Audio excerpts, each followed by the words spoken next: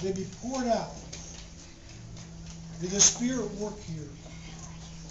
May you be God always to them.